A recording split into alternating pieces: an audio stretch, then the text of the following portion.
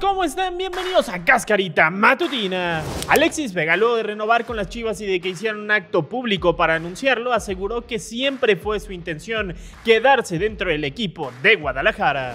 Tigres tiene buenas noticias y también malas, y es que Carlos González y el Chaca Rodríguez ya se han recuperado de sus lesiones y podrán estar presentes en los cuartos de final de la liguilla. Por su parte, Gignac y Tubán son duda para estos partidos.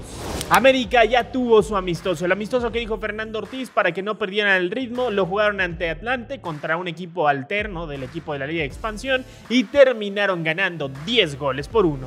El 23 de mayo será el día clave para el Querétaro porque habrá asamblea de dueños. Ahí conoceremos si en verdad hay propuestas o compradores para la franquicia en caso de que Caliente los haga saber ese día. Cruz Azul juega el sábado su repechaje ante Necaxa y Jesús Corona podría reaparecer en la portería de la máquina. Todo esto porque parece ya ha podido por fin superar su lesión y regresar a las canchas. Amaury Vergara está en los Países Bajos y visitó al PCB directivos y a Eric Gutiérrez. También habló con la prensa local y dijo que en dos o tres años habrá muchos más mexicanos en Europa.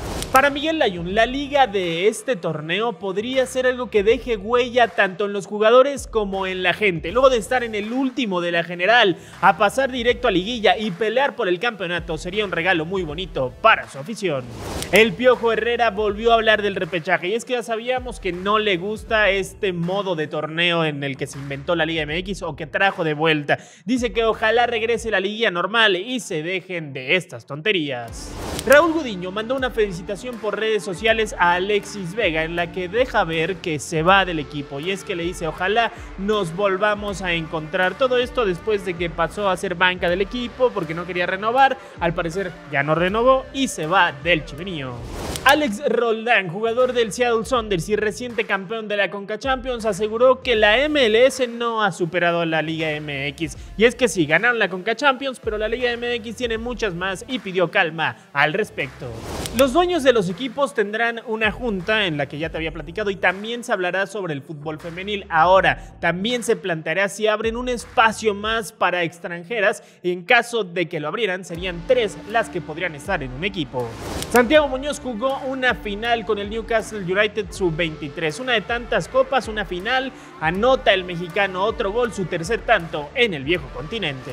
La NFL ha confirmado a los participantes, a los equipos que vendrán a jugar a México, al Estadio Azteca. Serán los 49 de San Francisco y los Cardinales de Arizona.